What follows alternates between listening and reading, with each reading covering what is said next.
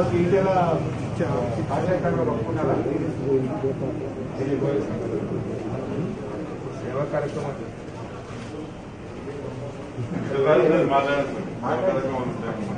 ఢిల్లీలో ఉన్నారు మాట్లాడతారు?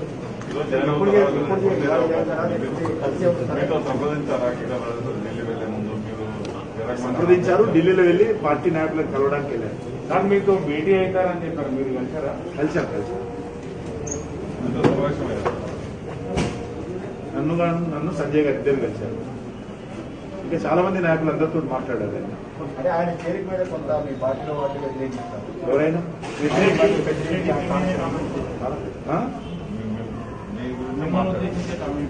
పర్లేదు పర్లేదు. పార్టీ నిర్ణయం బీజేపీ రావాలన్నప్పుడు ఏడాదంతా పార్టీకి సంబంధించిన నాయకులు ఏం చేస్తున్నప్పుడు కనీసం చర్చించలేదు మాతో అంటున్నారు. ఇంకా పూర్తి నిర్ణయం అయితే చర్చిస్తాం కదా. పూర్తి నిర్ణయం కాకముందు అందరితో చర్చ పెట్టాం కదా. ఆయన పూర్తి నిర్ణయం తీసుకున్న తర్వాత అప్పుడు అందరితో చర్చిస్తాం అది రాష్ట్ర పార్టీ అధ్యక్షుడు రాష్ట్ర పార్టీకి సంబంధించినటువంటి కమిటీ సభ్యులు చూస్తారు. అది పెద్ద విషయం కాదు. పార్టీ పెరగాలి పార్టీ విస్తృతపడాలి. ఈరోజు నియంతృత్వమైనటువంటి టీఆర్ఎస్ ప్రభుత్వం పోవాలి అన్నప్పుడు నియంతృత్వంగా వ్యవహరిస్తున్నటువంటి వ్యక్తులను శక్తులను ఎదుర్కోవాల్సినటువంటి బాధ్యత అందరి మీద ఉంది. పార్టీలో అసంతృప్తుల వాళ్ళకు మీరు ఎలాంటి సూచనలు పార్టీలో నిర్ణయిస్తారు చర్చిస్తారు. రేపు పేపర్లో చెప్తారా అని మీడియాలో చెప్తారా వాళ్ళు బహిరంగంగా మాట్లాడుతారు. ఆ, ఎవరున్నా సరే మాట్లాడతారు. బహిరంగంగా వాళ్ళు బహిరంగ మాట్లాడినా. ఒక మంత్రిగా నేను మాట్లాడకూడదు కదా. నేను వాళ్ళతో వ్యక్తిగతంగా మాట్లాడతాను ఏమన్నా కూడా. టీవీలో మైకులో చెప్తామా? కేంద్ర ప్రభుత్వం నాలుగు లక్షల రూపాయలు ఇస్తుంది కరోనాతో చనిపోయిన కుటుంబాలకి బాగా చేస్తారు నిజమైందా? తప్పుడు వార్త. మీకే వస్తుంది కదా వార్త. నాకు తెలిసినంత వరకు ఇంకా ఆ నిర్ణయం ఏం తీసుకోలేదు. ఆ రకమైన నిర్ణయం ఇంకా ఇంకా తీసుకోలేదు. ఈరోజు తీసుకున్నది అనాథలైనటువంటి తల్లిదండ్రులు కోల్పోయినటువంటి పిల్లలు ఎవరైతే ఉంటారో ఆ పిల్లలను ఆదుకునేటువంటి కార్యక్రమం చాలా అద్భుతమైనటువంటి కార్యక్రమం చేపట్టాము.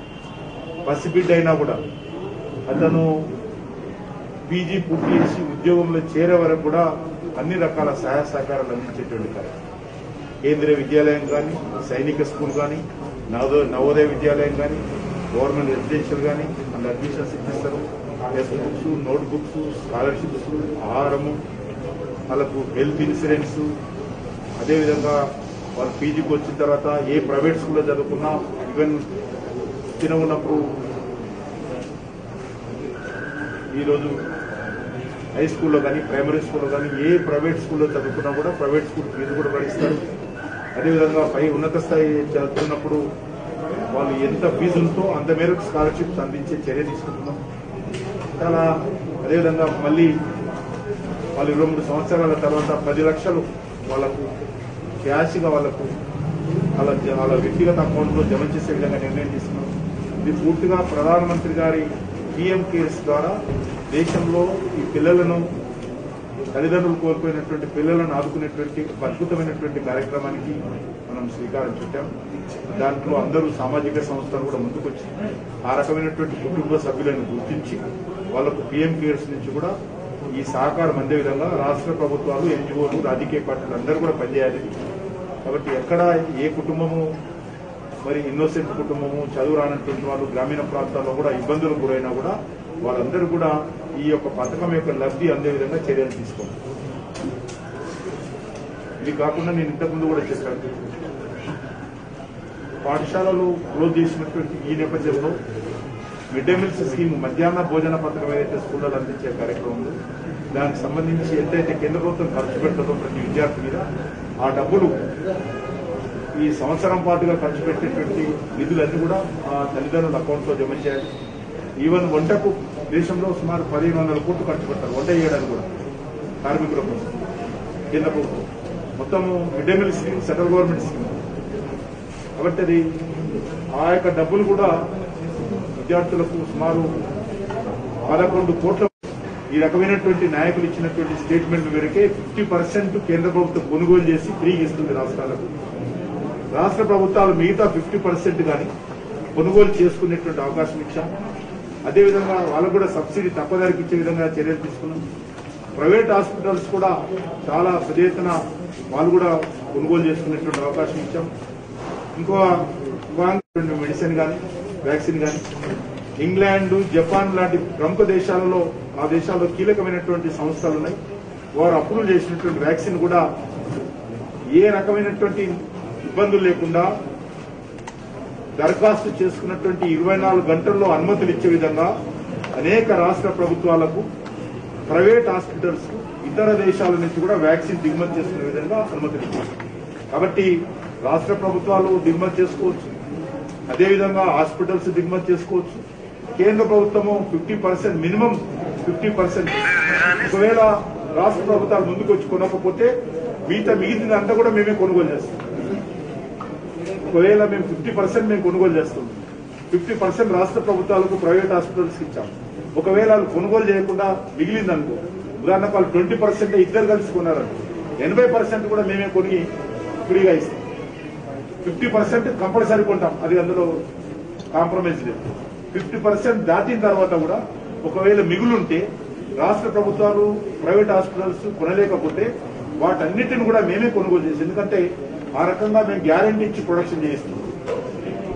ఈ యొక్క వ్యాక్సిన్ కూడా వృధా కాదు మేము మేము కొనుక్కుంటాం అనేటువంటి గ్యారంటీ ఇచ్చి కంపెనీలకు అడ్వాన్స్లు ఇచ్చి సెంట్రల్ గవర్నమెంట్ అడ్వాన్స్లు ఇచ్చి నిధులు ఇచ్చి అడ్వాన్స్గానే భారత్ బయోటెక్ అడ్వాన్స్ ఇచ్చాం సిరమిక్ అడ్వాన్స్ ఇచ్చాం సుతినిక్ అడ్వాన్స్ ఇచ్చాం ఎక్విప్మెంట్స్కి అడ్వాన్స్ ఇచ్చాం.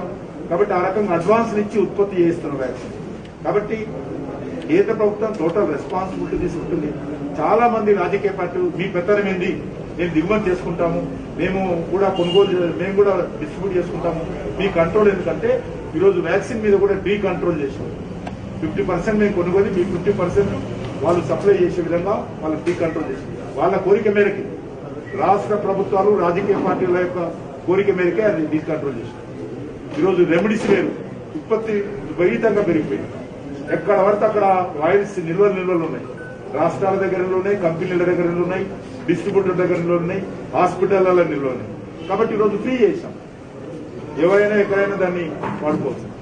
కాబట్టి కేంద్ర ప్రభుత్వము ఈ యొక్క ఇది నేషనల్ డిజాస్టర్ మేనేజ్మెంట్ కింద ఆక్సిజన్ కానీ వ్యాక్సిన్ కానీ అందరికీ అందుబాటులో ఉండాలనేటువంటి దృక్పథంతో కొన్ని చర్యలు తీసుకుంటాం ఉదాహరణకు ఇది భారత్ బయటకు ఇక రాష్ట్ర ప్రభుత్వం మొత్తం మాకే రావాలి. మీరు ఎక్కడ పోతుంటే దేశంలో ఎక్కడ రాదు కాబట్టి నేషనల్ డిజాస్టర్ మేనేజ్మెంట్ దేశంలో ఉన్నటువంటి అన్ని ప్రాంతాలకు ఆక్సిజన్ అందాలి. మన తెలంగాణలో ఆక్సిజన్ ఉత్పత్తి లేదు. మన ఒరిస్సా నుంచో ఆంధ్ర నుంచో ఇంకో రాష్ట్రం నుంచో రావాలి. తమిళనాడు నుంచి కూడా అలాట్మెంట్ చేశాం. తమిళనాడు ప్రభుత్వం అడ్డుకున్నది అయినప్పటికీ కూడా.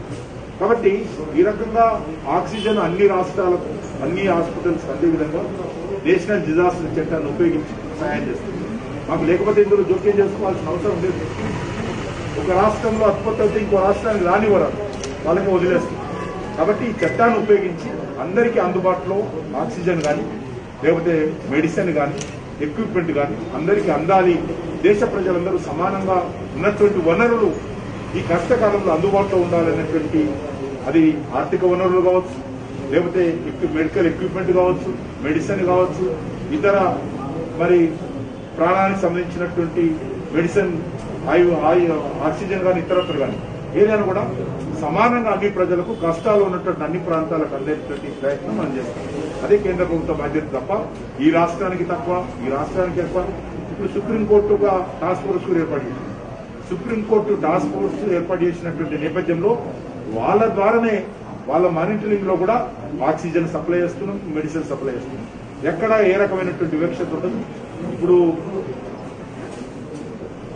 మంచి జరిగితే మా మేము మా కుటుంబం గొప్ప. మా కల్లకుంట్ల కుటుంబం గొప్ప. చెడు జరిగితే నరేంద్ర మోడీ గారు పొరపాటు. ఇది బాగా అలవాటైంది ఈ ప్రభుత్వానికి లాస్ట్ ఏడు సంవత్సరాలు.